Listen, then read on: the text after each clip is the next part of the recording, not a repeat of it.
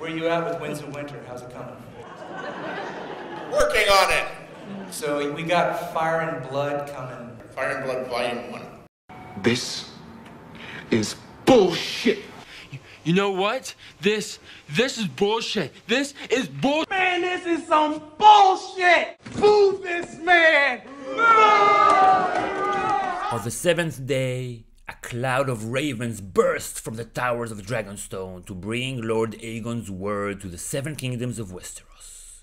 To the seven kings they flew, to the citadel of Old Town, to lords both great and small. All carried the same message. From this day forth, there would be but one king in Westeros. Hallelujah! This is not history, this is propaganda. Hi everybody! So, per your request, after my first Fire and Blood video last week, I'm posting a new video about the new book he has written. This time it's about the story of Aegon's conquest and how you shouldn't believe any part of it. Because the story of Aegon the Conqueror is clearly a piece of propaganda hatched by the shrewdest political campaign strategists in the realm. If this is the first Got Academy video you're watching, hit subscribe, especially if you're into Fire and Blood, because I'm gonna post a lot more videos about that book in the very recent future. Since this book is written as a proper history, written in medieval times by a maester, we have to keep in mind that it was not written as a purely academic pursuit, but as an effort to advance an agenda. And this agenda is clearly a pro Aegon agenda. So, this agenda means this is clearly a pro Aegon story. When we read this story, we should always keep that in mind. Aegon's story was written by the winners, by himself, the way that he wanted it to be, and then it was passed down through the generations until this maester wrote it. It's fake news, fake news. So let's go through all the blatant propaganda in this story. Let's start with who was Aegon. Aegon is portrayed as the most critical person in Westerosi history, the founding father of the Seven Kingdoms. He's, uh, if you want, a combination of the US founding fathers and Jesus. because his conquest is the touchstone for the history of the realm. What came before Aegon? That's BC, that's old, ancient, and not working. And what happened after year one of the Aegon calendar is much better. Mm.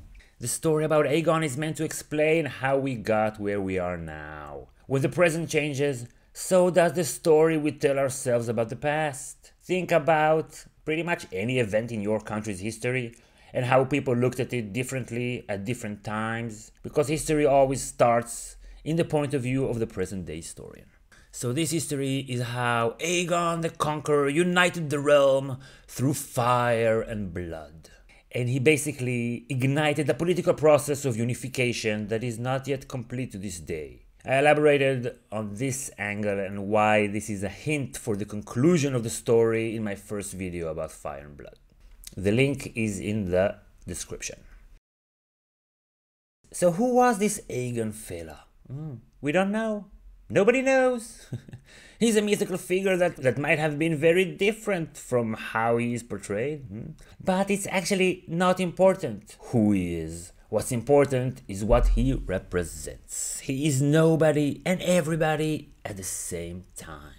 If he had wanted for people to know what he was really like, then he would have told the Maesters to write a different story about him. Hmm? But he left himself intentionally as an enigma you can project into his mythical image whatever you're looking for a warrior, a ruler, a collaborator, a strong willed king. Mm. He was nothing and everything. Strong, yet didn't like to fight. He had the best dragon, yet he only used it when he had no choice. He was beloved by everyone, yet without close friends. A handsome man, yet faithful to his wives. He prayed to the seven gods, yet married his two sisters. He was harsh with traitors, yet open handed with former foes. He was perfect, he had no flaws. He bowled 300, and he never took a dump, and always had the best words. Ah, and Aegon, he was the only one who had the dragon stunning out. Mm, he's the special one, yes, and he had a vision of Westeros long before he came over on top of Balerion the Dread. He had the painted table. Westeros with no borders, no seven kingdoms, one realm unified.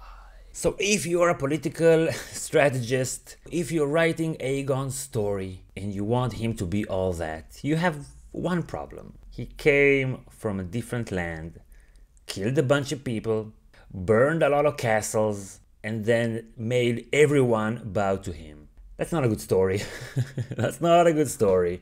So, this is why this story is full of justifications for the invasion of these foreign Valyrian lords. So, step one is portray the previous situation as horrible. I'm not the problem. Westeros had seven kings, now it has one. Hmm? 24 rival houses vied for power and glory, it says. Ugh. People will die for glory.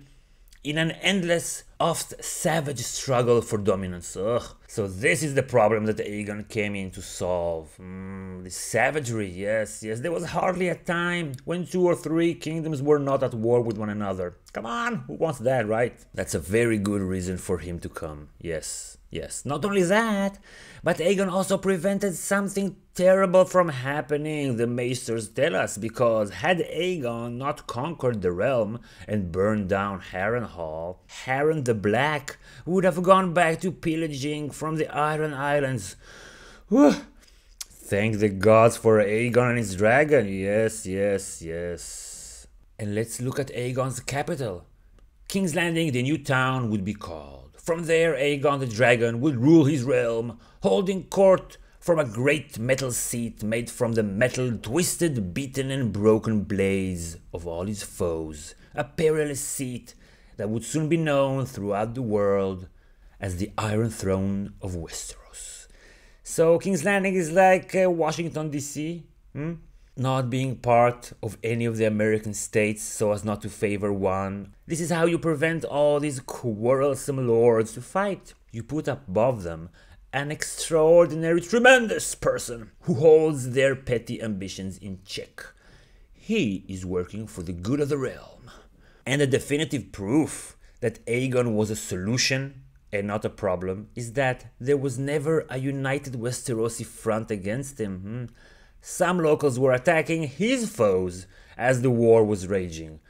So Aegon, he's just part of the Game of Thrones and just happened to be the best one at it. Step 2 Portray the previous administrations as horrible. Ah, Aegon was actually antagonized into invading by two very bad people.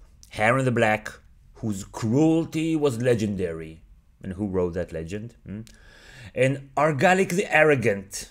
Uh, don't think he called himself that, and it's actually not said who dubbed him the Arrogant, so it might as well be the historians from Aegon's time who tried to kiss the new king's ass so he will allow them to publish their history books, because if you wrote a pro Argilac history book, hmm, it would probably not have made it to the bookstores. And it was the local Argilac the Arrogant who invited the Targaryens to come into Westeros. They weren't looking for that, right? But Argilac, he was doing that in an evil, sinister effort to use the Targaryens as a part of the endless Westerosi civil wars. Ugh. The Maester says that, that this sinister effort was plain to everybody. But there's no citations there. Plain to who, Mr. Maester? Hmm? How do we know that this is not fake news? While dealing with Argilac at the beginning, Aegon didn't even want to conquer everything with fire and blood. No, he came in peace. But Argilac, he was too arrogant to accept Aegon's offer for cooperation. It's his fault there was a war. Step 3. Aegon is definitely, most definitely not a foreigner. He's not, no. Really, really. No, no, no. He's not, he's not. Exhibit A. When Aegon's knights unfurled his great silken battle standard, with a red three headed dragon breathing fire upon a, a, black field. The lords took it for a sign that he was now truly one of them, a worthy king of Westeros. Come on. He's not foreign because he has a flag. okay, maybe that's not the best argument. Let's see if they have some better ones. Ah, ah, ah. Mm. This is as uh, everybody's cheering for him when he becomes king. The small folk, the fishermen, and field hands and good wives shouted loudest of all. He was loved by the people. Yeah, yeah, yeah, yeah, yeah, yeah. Okay, okay, let's try another one. Let's try another one. Okay. He's not that foreign because his family has been living in Dragonstone for 200 years, and that's just off the Westerosi coast. Come on. And he also had some uh, local allies, the Velaryons. Hmm? And he's been to Westeros before several times, so, you know, unlike uh, Daenerys Targaryen. Hmm? Also, the effort continues when they're describing the Tigers from Volantis, which was an army that invaded Westeros, as imperialists. Uh, so Aegon, he's not an imperialist. No, an imperialist is someone who conquers for coin and glory. No, Aegon came in to help. He liberated us. Come on. And Aegon, he's not this aloof foreigner guy who doesn't take into account Westerosi politics. No, no, no. He consulted his local Westerosi allies before deciding on the invasion. Hmm. So this is a Westerosi affair. He's even more Westerosi than the other Westerosis because he looks at the realm as a whole. He's a pan-Westerosi, if you will. True, Aegon did go against Westerosi rules and traditions by marrying two wives. Hmm? But he didn't make that shit up. No, no, he was bringing back some old Valyrian fashion, so he's uh, retro, right? marrying your sisters is uh, disgusting, but let's not judge other cultures. Because Aegon, he does respect our laws and traditions. First of all, when he landed near the Blackwater Bay and claimed it, he didn't take it from anybody. No, no, because if he had taken it from some lord, that wouldn't be a good story to tell the other lords of the Seven Kingdoms that he came in and appropriated some land. No, no, no. The place was empty. I swear. There was nobody there. And immediately when he went there, he claimed it and started building his new capital, right? Progress. He gave his name to, to the new buildings as well because names matter in the stories a nation tells itself about itself. If you call something the War of Independence, it's different than if you name it the Rebellion. Hmm? And right after he landed, very quickly, it said, some local lords submitted to the awesome power of the dragon. In the end, Aegon's enemies had no answer for the dragons. So they lost fair and square in the Game of Thrones, mm, which has always been part of Westeros. Okay, step 4 in the image of Aegon is Aegon the Divine. Before starting his conquests, Aegon made sure to also pray on it, right? To the seven, mind you. And the Lord told me to run for president. Yeah, I bet he did. He's going to have a fun night. He's going to be driving home election night going, yeah, wait to see him. Yeah, great! Thanks for making me look like a fucking ass! He was never a pious man. He's a man of action. But he prays to our gods, so he's one of us, right? And how does the conquest start? With a quote that I read at the beginning of the video with the blatant religious overtones, right? On the seventh day, a cloud of ravens burst from the towers of Dragonstone to bring Lord Aegon's word to the seven kingdoms of Westeros and all that shit. And Old Town is portrayed in the story of Aegon as the best place in the land. Hmm. Maybe because the Maesters read the story, they're, from Old Town. Hmm. Old Town was also the center of the faith. There dwelt the High Septon, father of the faithful, the voice of gods on earth, who commanded the obedience of millions of devout throughout the realm. Which reminded me of the question that was asked in defiance of the Pope How many divisions does the Pope have? Then it continues. He commanded the obedience of millions of devout throughout the realm and the blades of the faith militant. Ah, okay, so he has actual divisions as well. Mm -mm. So before crowning Aegon, the High Septon, the Pope, he consulted the gods during a very meaningful amount of time seven days and seven nights. Hmm? Not five days or something like that. No, no, no, no, no. And he didn't eat or drink during that time because the story has to be awesome. And then it was the crone, the wise crone, who told him what to do. It wasn't a political move or a whim. He wasn't afraid. No, it was a heavenly decision. He's going to win. Romney will win. The election. You believe that? I absolutely believe What makes you believe that? Because the Lord told me. Well, that's why I'm glad to. I'm glad to know. And the High Septon, it is said, saved the city and the entire religion by accepting this foreigner who mocks their laws by marrying two women and his sisters, no less. And if we read between the lines, we see that the church had sway over the lord of Old Town, because one of his sons was, was in the faith militant and another was a septon. And of course, it was the right decision. The story gives a clear answer. Thus, it was that no man from Old Town burned on the field of fire. When you read the story, you already know that Aegon conquered everybody. So you're not gonna go, hey, why didn't my forebearers uh, fight against him? No, no, no. That was a good thing to do. Good move by the High Septon, definitely, definitely. And it was the High Septon who made Aegon a true king, which is how kingdoms during that time in history worked. The crown provides the church with privileges, monopoly on religion, and with protection, and the church provides the crown with divine justification for its rule, thanks to its massive influence over the masses and the devout. Sadly, this church and state alliance still lives to this day, even in places where those are technically separate. So it was in Old Town that Aegon became king, the home of the faith. And his coronation there is the day that he decided is the first day of year one in Aegon's calendar. He could have chose the landing as the starting point, but that would have emphasized the foreign invasion by a man on a monster narrative that he probably wants to avoid. Hmm? He could have picked one of his big victories, either the first one or the Field of Fire, and those would have highlighted his mighty force. But he didn't want to be Aegon the Warrior. No, no, no. Starting with the coronation sends the right message, tells the story of a unification under the accepted religious authority.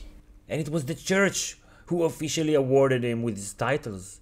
Aegon of House Targaryen, the first of his name, King of the Andals, the Rhoynar, and the First Men, Lord of the Seven Kingdoms, and Protector of the Realm. The job is done, He's part of Westerosi history. He's one of us and more worthy than us all. You have to live under some king.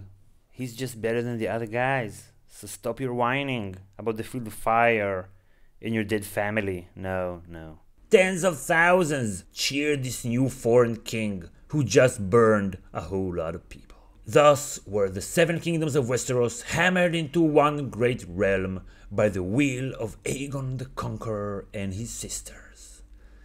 Say Amen. What a beautiful story, and obvious propaganda, and probably sprinkled with a lot of fake news. Don't believe any of it. Don't believe any of it. Okay, so Thank you everybody for watching. I'm gonna post another video about Aegon the Conqueror, about how he portrays his enemies and his allies. I'm gonna try to get to it by Tuesday. I'm gonna try. So hit like, watch this video about how Fire and Blood might give us clues about the conclusion of Game of Thrones Season 8.